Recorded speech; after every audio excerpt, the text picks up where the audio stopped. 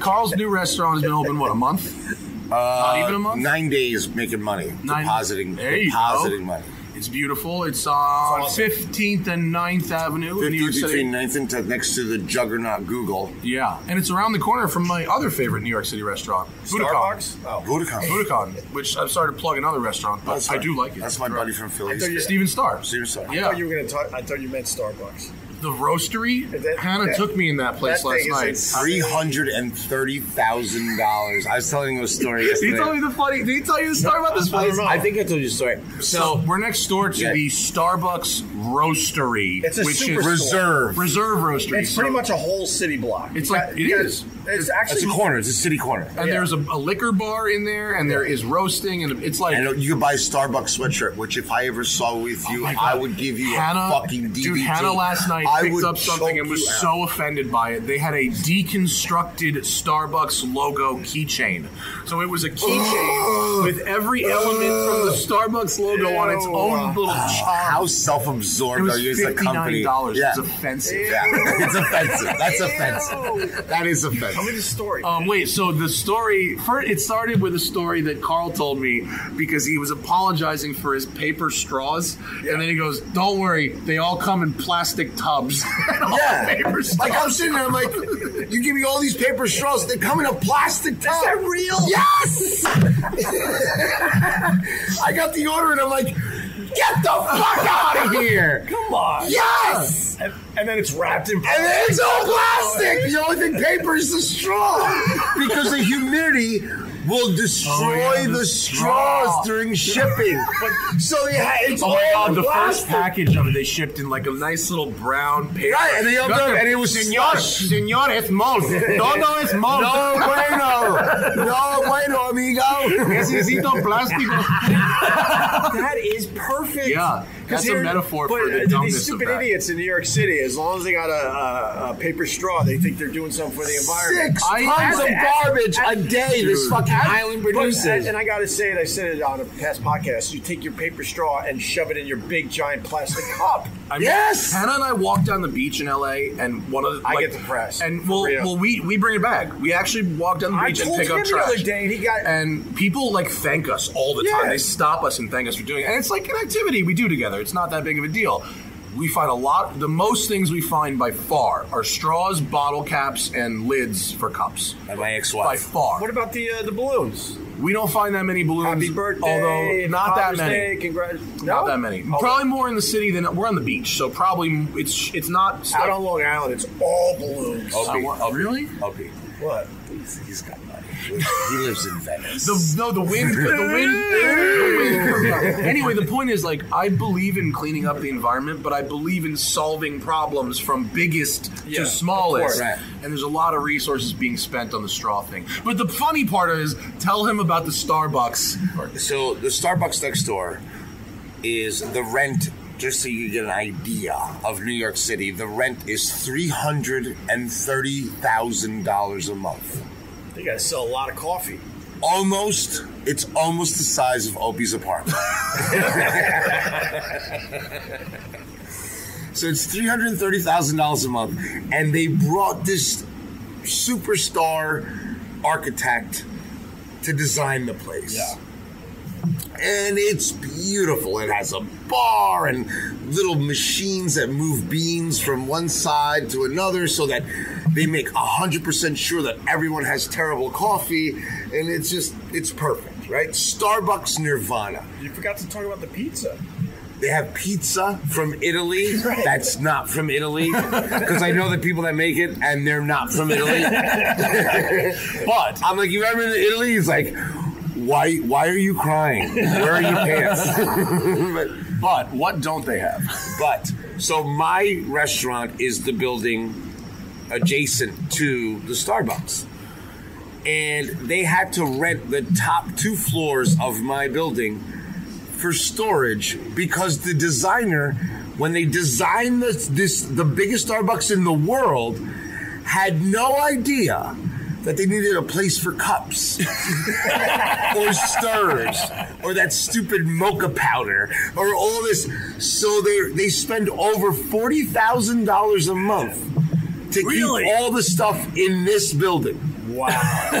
we we were podcasting the other day from here, and they opened up the giant garage door. You saw it. It was it was drums filled uh, with syrup. Syrup. drums. Drums of drums. syrup. You couldn't give me anything from that store. I gave up on Starbucks ten years ago. My dad was one of the original investors of Starbucks. My dad was in between jobs in 1992, maybe, or three, 91, 92? Early 90s Early 90s, maybe 91, 92.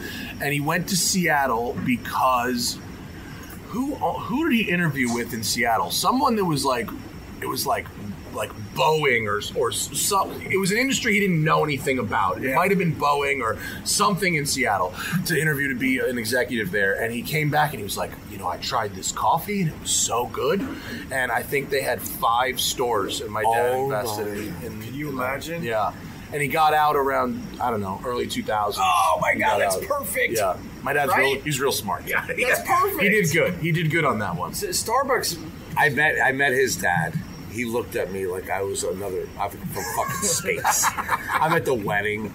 I'm with some crazy girl from Trailer, New Jersey. And I'm like, "What's up, Matt's dad?" Like, didn't have a name or nothing. I'm like, "Big fan." Did he yell at you? My hedges are crooked. No, he's actually one of the most down to earth. chill. Yeah, He one of the most down to earth. I was just going Yeah. for a rich joke. And I and I, I I always expected my dad to be the kind of guy who was so chill at home because he got out all his crazy at the office. Yeah.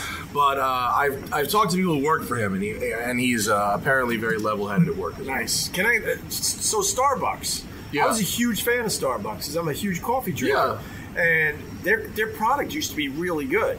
I think it probably was better No, than it was- at, I- I- at some time. I I have I can't prove this, but as a coffee drinker somewhere in there, they decided to get a less quality bean. Probably. Because they realized they were selling so many sugary drinks that the actual coffee bean didn't matter as much. Probably true. I don't know if this is true, but then the coffee started tasting burnt and not the same anymore. This is I have no idea. This is I wouldn't be surprised assumption. if they did that. It sounds like a big corporate thing to do. And, and they left a giant hole for real coffee drinkers, and Yeah. that's why all these mom and pop uh, stores are popping up Right. all over. I think it was the same thing that happened when like Coors and Anheuser Busch started buying those medium beers, like Killian's and all Yeah. those beers. Killian's. Started. Remember Killian's Yes. was kind of good for a while. Yeah, the red And- one. Yeah, and then it got bought up by Coors or whoever, and it became shit. I was- and that left room for the micro brews to Yeah. come in underneath. What happened to the red ambers? I was a big fan of the red Ambers Am- had a minute, beers. didn't they? I'm I trying like to remember them. some of the other ones I used to drink. I I kind of got away Wat- from uh, beer. Uh, I haven't been Watney's beer. or uh, uh, Watney's. Oh shit!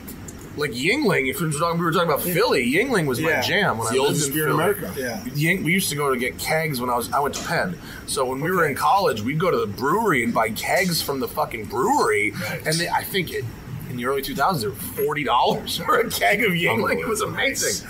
Um, Did you like Philly? it was a great place to spend four years and then have an exit plan. Oh, really? Right. yeah, I thought it was a fun town. It had just enough shit for four years Yeah. of mayhem, and I like going to visit though. You just drove up from Philly. I went You to the uh, Phillies Mets game, nice. and I'm the only Mets fan in the whole. no, Hope he's in I'm everything. surprised you fan. did No, shit. there- Were you wearing a Mets hat? No, I, I pretty much.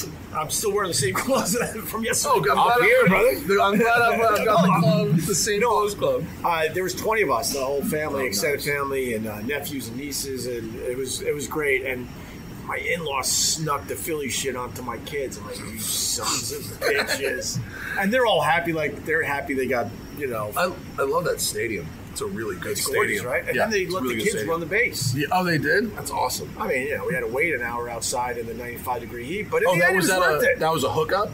That's not something they do, or that's something It that was they. something anyone could do. Oh, okay, cool. And we're thinking, oh, this would be fun. After the game, we'll just casually run around the bases. And so we, we go to the uh, the people down there, and they're like, the line starts there. I'm like, you're pointing at the horizon. I went. We went to. We were just in Rome and went to the Coliseum with no tickets. You should see what the line. The line you could just walk into the Coliseum? You had to buy tickets. You can walk in. that. Oh yeah, it's an operation. You can't Really? even. You know, you can't even. What the Coliseum didn't surprise me because when I was a kid and went to Italy, we had to buy a ticket there as well. Yeah. What surprised me was the Forum like you know the Roman Forum, which is a big pile of rocks like outside. You have to buy a ticket to that To look at a pile of rocks. to go into the Forum, which I thought was surprising. Um, So what, but what did you think of the Coliseum? Coliseum's really cool. Yeah, The tell me Coliseum. about it. Have you never been to Rome? The Coliseum is amazing because How much money have you saved up? you, a lot. Fucking you can't you, you know you it's like it's like the pyramids or any of that other really ancient but, but amazingly engineered structures it's like it's the one thing to, to look at the construction of it but it's another to think about you know Yeah. computerless hand done geometries and engineering and, and it's it's really amazing and it's also amazing is how people really haven't changed all that much from then to now. Like, there's a display of some of the original like uh, benches from the Coliseum, which were marble or stone, right? But there's just graffiti like carved into them like you know i fucked maximus's wife And, like, seriously i mean literally like it actually says that it says i fucked maximus's wife is one of them and it's like someone's got a small dick and it's like in latin graffiti carved in it's like Whoever's sitting here right now is a tiny dick. yeah Oh my like, god! it's weird like the, begin- XXLMC. the beginning of the the beginning of the Twitter trolls. Yeah. It's like Twitter trolls. Yeah, like it's we're just For the real? same people. Yeah, That's yeah, awesome. That's good to know. Yeah, and it's it- good to know we were always assholes. Yeah, ah, we're it's and we're still know. assholes. Yeah, Right. but I actually What was the one thing you took away from the Coliseum? That one thing where you're like, that was that was the one thing. Yeah, but and and also I mean it, it is a, it's a beautiful thing to see. You you can't believe that. I mean, what's amazing is how tall it is and like how much taller it was. Like it had a wooden structure on top of it that was like bleachers. Okay. That looked super sketchy in like the reconstructions, but it, it was really tall. Like it's as tall as a, as a modern football stadium, or maybe even taller. It's, it's really. I went to Athens and saw the Acropolis. Yeah, yeah, that's pretty. Oh, that's kinda that cool girl shit. that you hated. Your, your ex-wife. I know. I didn't have an ex-wife. Jesus. No, you, you dated a girl way too long. Way too long. Oh. Because, you know, I, I grew up uh, with my dad enabling my mom, so I might have uh, picked up a trick or two. oh, you weren't married before. Sorry.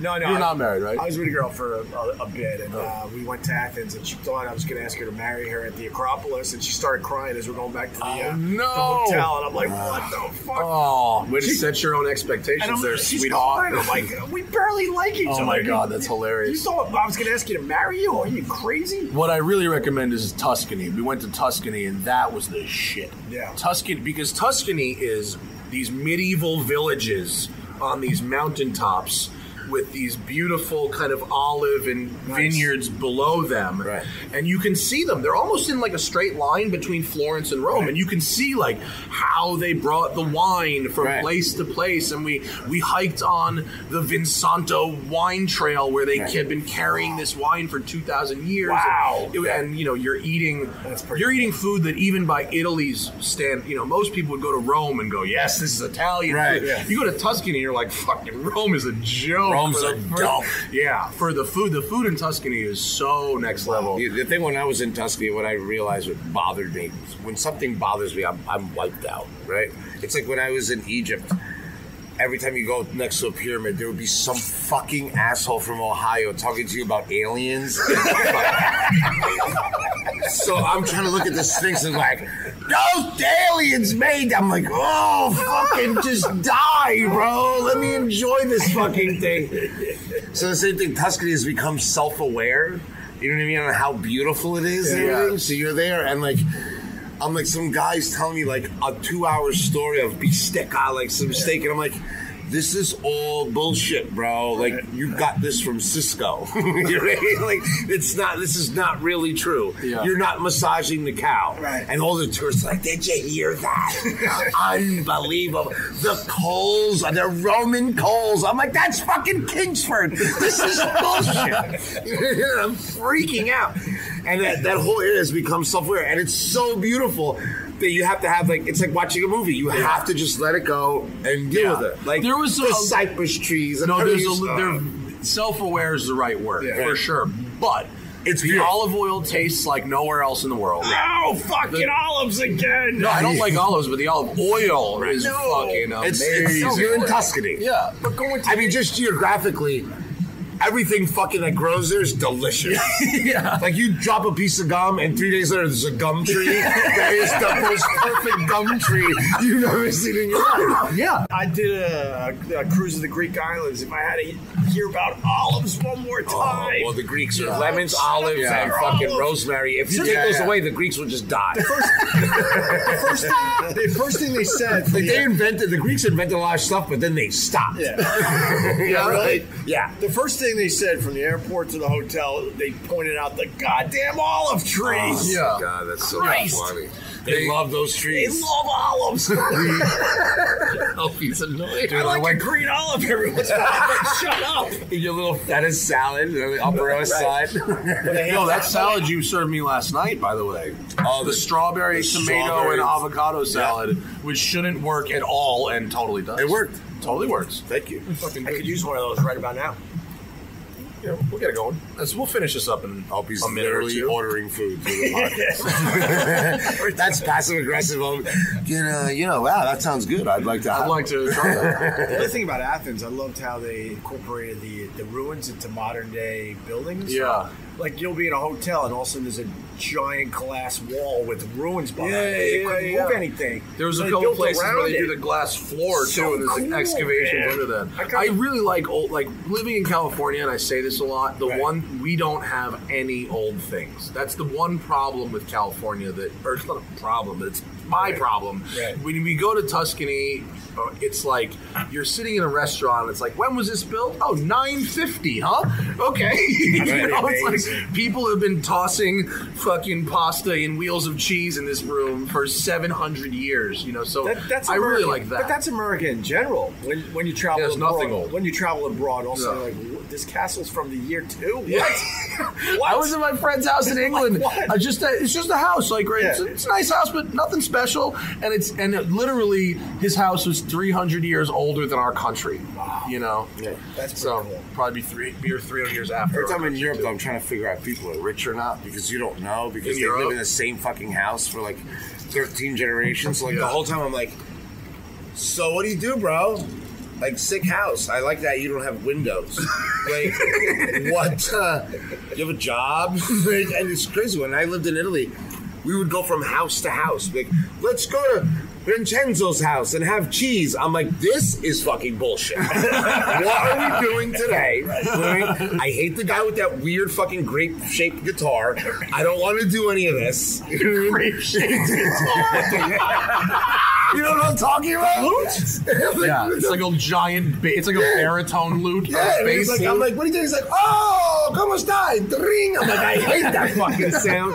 Are we going to the mall? Because I need a fucking Mach 3 and I gotta do a lot of shit. Is there a store? Like, I'm just annoyed the whole Oh time. my I'm like, God. Can I It's say- so funny. I, I was lucky enough when I was at um, Sirius XM. I got to see like a pretty much a private concert with Sting. Yeah. When he was going through his lute f- phase. And I Was he playing it? He was he playing it? He had. I, I remember he had like the greatest lutist. Yeah, yeah. Do you say lutist? Yeah. In the world, and I think he was just uh, singing with the guy. Was that in, I like, think. the- No, he was playing with them. Was that in not the as well. fishbowl at Sirius, like there? Or? It, it, it was in Lincoln Center. Oh, okay, the, cool. the, the space that overlooks actually uh, uh, Lincoln's Cool. uh, Columbus Circle. Yeah, yeah. Columbus Circle. I made out with a girl at a place called, um, that doesn't matter. Doesn't So- matter. Wait, it's Sting's lute. So Yeah. I went with Jim Norton. We're in the audience, and we're just getting madder and madder at these lute songs. Like, what is this garbage? And then he's doing "Message in a Bottle." I On the think, lute? on the lute, but it's all a, a new arrangement, Oh, and no. everyone else is like, "Oh my god, this is the greatest thing I've ever heard!" And we're like, "Oh, this stinks." I, and then backstage, he got really mad at me because, you know, I was a huge police fan growing up. And with my now wife, Yeah. and we went through the line to get our picture, and I'm like, holy shit, the only chance I'm ever going to get to meet Sting and get a picture. And my uh, flash didn't go off. So, I they was do it again? stupid enough to go, can we do that again? I have the picture of the disgust in his face. Oh. Then I asked for a second picture.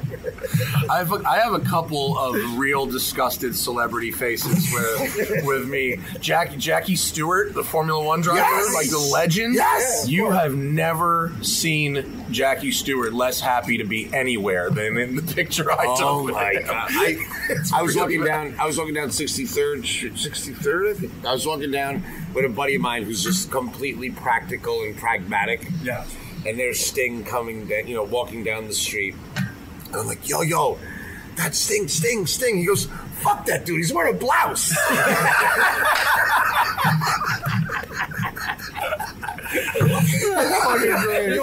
it's so grounding. You know, Yeah, like, yeah. you're right. It's like old man with a blouse. Like, Well, that's how Steven Tyler dresses. Oh yeah, Oh, every my picture of him, he looks like he's about to go on Coffee Talk. He looks like a soccer mom who's just about to cheat. Oh, I was gonna come up with something, but I'll, I'm letting you hang out. Yeah, Fucking time. No, uh, outside La Cubana when we were, um, I was coming up. You were outside. I saw Kenny G walk by. Oh, and the so guy's funny. still sporting the stupid Kenny He's got G the hair. Well, he has to. Dude, but because he wants to be recognized. if he changed the hair, I if he changed the hair, he couldn't do it. Like He's- Adam Duritz from the Counting Crows, he's still got to do Oh, the he has to do it? Yeah, you got to. You got to. If you if you. You ever seen you seen Dee Snider recently? No. He looks he looks like he's on his way to the fucking come on feel the noise music. I video. just have four words: Coolio. Coolio still Coolio looks the like a remote controlled dad robot from Stoner. Did you guys see But that video less of the robot by the way that came out? It was fake. There's a say video. it's fake. the Boston Dynamics. a one? video of the robot where they're, where they're Yeah. throwing I things. knew that one was fake. Yeah, and it's Come on. fake. It was. But okay. could you tell him how annoyed I was at Kenny G's hair? So you don't understand, like, but he, Like the way. Opie's saying it now is like for radio, like podcast, or whatever, but this is Opie. so we're outside. I'm having a cigarette. My life is in shambles, right? And I'm sitting there, and I got a ninety dollar booger in my nose. I'm a mess. Oh, and fucking Opie goes. Saw Kenny G out here. Still has the hair. And I'm just like a smoking- Seinfeld. I'm just yeah, I'm smoking a cigarette, just like, what? He's like, yeah, Kenny G, same hair. I guess he keeps the hair because he wants to kill, still look like Kenny G. I was looking at the cigarette, I'm like, see you later, up. just the calmness of it, and I'm just, it annoyed me. Just. Kenny G annoyed me. Opie telling me that he saw Kenny G. Starbucks, like there was nothing positive. There's no reason to keep the Kenny G hair. You know, he's got to do it. He's Don't- got to do it. Why? Because otherwise, Ah. because for the exact reason you accurately described. That's why. I guess. Remember Jennifer Grey, Dirty Dancing? Oh, the nose. Killed her career. Killed her career. Changed the look. Career over. And she was way hotter yeah. after the nose job. you ever too. see a picture of um, Zooey Deschanel with her bangs not done? Fucking different human. Done. Not the same human. When you commit to a look like that, you're fucking stuck with it. Stupid bro. Rollie Fingers did the the, uh, the handlebar mustache late in his life. I'm like, no. Yeah, you either got to be fluid from the beginning, Right. or you commit to that look Shave that forever. shit. That's Yeah. like the way- I was uh, I was with Guy Guy Fieri one day, He's stuck too. and he and he, like- he had the funniest thing. So Frosted tips for life. Right. I have two stories, but it was really funny. But the first story is I was with a guy, and somebody goes, "Why, um, uh, you know, how do you feel about like, you know, everyone knows your hair and whatever?" He goes, "When I'm not famous, I'll just cut my hair, and you'll never fucking see me again." Perfect. Perfect. It was the like best. Perfect. And then another story is when he landed in Vegas, and his buddy has a plane called the Global Express. Oh, that's a yeah. If you are familiar with Jay Z, Yeah. I'm in Boeing Jets Global Express out the country, but the blueberries still connect. Right. So Global Express is the biggest thing you can get before you get one of those 737s that fucking like crash Travolta's guy. So the plane's gorgeous, right? Two bedrooms, shot. I mean, literally, it's an apartment, right? And land in Vegas, and there's a bunch of people in the FBO, whatever, in in the little waiting room, Yeah. and they're like rich too, but they're not rich like this dude, right? Yeah. And they come out Oh my God, is that the new Gold Global Express? That's beautiful. Can I look inside of it? And the guy looks at me and goes, No. and it was the richest thing I ever saw. And I look at the guys, I'm like, Hi, you motherfuckers! I was in there, I took a shit in there. Like I mean, you thought you were rich enough to see you thought you were rich plane. enough. Yeah. He said no. Oh my! And, the, and this plane was un. It, I mean, it was unbelievable. It was un like just. It had. Have you seen uh, Air. Air Drake? No. Drake had, got a 737, which I don't think he bought. I think he leased. No, they leased it. But it's like, you know, it's a fucking house in there, and it's fucking painted Air Drake. Is it side. really? Yeah, and when the Raptors won, he was doing fucking just circling downtown, having a party. At the parade. He was circling the parade Yeah. on his on his 737. That's fucking cool. heavy. That's. That's heavy. He made me root for the Warriors. Drake individually. Yes. Me and Guy cooked. I don't like Drake. his music at all, but he seems like a nice guy. I like his. I mean, me and me and uh, Guy cooked for Drake um, in Toronto. It was really funny. So when I traveled a lot with Guy, you know, you stay in the same hotels, and and we, we were staying at a high end hotel, and they know you, so you get upgraded immediately. So I get on the elevator, and they said, "Carl, you'll get your a suite," and it's great. So I go up to my suite, heated floors, Toronto. I mean, Toronto is just Sounds a cool city. cool city, right? Food's kind of weird, but whatever. That's for another day. A So- of, a lot of Asians too. Yeah. Good Asian, good Japanese food. Most of the world, Opie. Most of the so, I'm starting to notice that. you're you catching on? There's a lot. So, um, so um, I go up on the elevator, and beautiful room, and you know me, I want to have a cigarette, right? So I'm like, all right, let me go, and I open the, the little electric curtain, you know, it opens, and I start hearing, ah, like all this screaming. I'm like, what the fuck is going on? So I open the patio door, and I walk inside, and there must have been, I don't know, a thousand girls downstairs looking up to my room and collectively they all go ah ugh." and I'm like and I just like oh my I, it felt like the biggest pain I've ever felt in my life You're like, anybody? Anybody? and I just nobody was that. It was just like ah. God. and I slink back so not Drake. And then I figured out that Drake and Justin Bieber are having a concert in Toronto, Yeah. and they're staying in the suites, and I'm fucking Shrek in the middle of this. Just the fucking the disappointment of a thousand women Just was oh, so all the powerful. all the just Just I couldn't even breathe. I was like, it was unbelievable. Oh my god. Listen, guys, I have to call this show because I'm running low on computer battery. all right. Not We could bring- do another hour. I know. This is what happens when we do a show. Is we could right. probably do is we could do double. Yeah. So, but the experiment worked. We'll share this show. We, we are sharing. We're sharing the People are show. hearing this. Opie Radio podcast, Smoking Tire podcast combo. Yeah, And, and, uh, and drunk Carl. And Drunk Carl. Sabor Chef on Instagram. One of the best follows you'll ever fucking have. Uh, Opie Radio on Instagram. The Smoking Tire You on like fish? Instagram. Okay. Opie Radio podcast. Right. You tw- are you twice a week or once a week? Ah. You're whenever. are you whenever you want? Is that when you do a show? No, I try to do Mondays and Thursdays. I All right. try. Mondays and Thursdays for you. Tuesdays and Thursdays for me. Nice. Uh, thanks, Ope. Thanks for driving up from Philly, dude. I appreciate it. Thanks for dinner I'm a big last fan. night was spectacular, Carl. Uh, come eat at La Cubana, uh, West 15th Street and 9th Avenue, next to the giant Starbucks that doesn't have any closets. it's so weird. It's closetless Starbucks. Um, And, and the paper it. straws come uh, wrapped in plastic. That's so crazy. real? Yes. Yeah, it's That's real. That's hilarious, dude. Because the, the moisture will kill them. That's amazing. And now it was an course they do. educational show. Now we've learned something. We've All learned right, something. that's our show. I'm back in studio next week. I'm Bye, s- fools. I'm single. Thanks for your support, Matt.